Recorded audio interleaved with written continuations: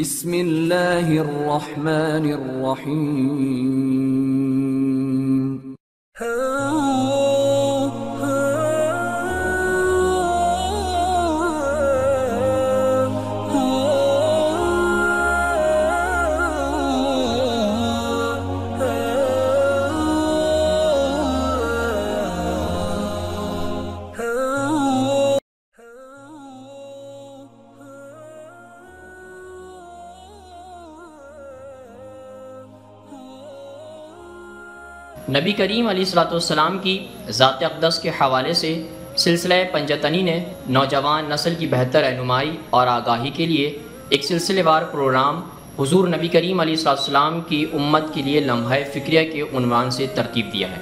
आज इस सिलसिले की अगली किस्त का हम आगाज़ करते हैं। ये करीन कयास है कि मरवान जो हज़रत उस्मान गनी रज़ी अल्लाह की अफवाज का सिप्पा सलार था, जो हज़रत उस्मान गनी रज़ी अल्लाह का रिश्तेदार भी था मगर उसी ने हज़रत उस्मान के साथ रहते हुए भी उनके खिलाफ लोगों को खुफिया तौर पर बगावत पर उकसाया और बिल आखिर उनके कत्ल के बाद मक्का चला गया। इसी मरवान ने लश्कर के हम ख्याल शर पसंद जंगजू के साथ मिलकर एक गलीर मंसूबा तैयार किया। उसने खास तौर पर अपने गिर्द ऐसे नौजवानों को इकट्ठा किया हुआ था जो सिर्फ़ जंग के भूखे थे और उन्हें इसीलिए तैयार किया गया था और उनमें नफरत कूट कूट कर भरी गई थी। जब ऐसा अचानक हमला किया जाता है तो जंग का माहौल खुद ब खुद बन जाता है। जैसे की अक्सर जंगी मामला में ये देखा गया है की एक छोटा गिरोह, यकीनन बड़ी जंग का पेश खैमा बन जाता है। और ऐसे छोटे गिरोह बड़ी से बड़ी अफवाजों की हरकत में ला सकता है। तीन चार आदमी आसानी से ऐसा कर सकते और फिर बगैर किसी तहकीक के जंग शुरू हो जाती है।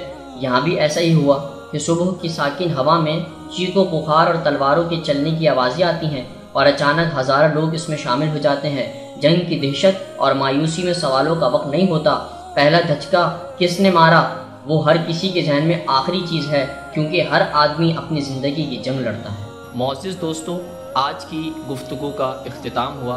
इन कल आपसे फिर मुलाकात करेंगे। एक नए ज़िक्र और फ़िक्र के साथ अपना बहुत सारा ख्याल रखिएगा। अल्लाह हाफिज़।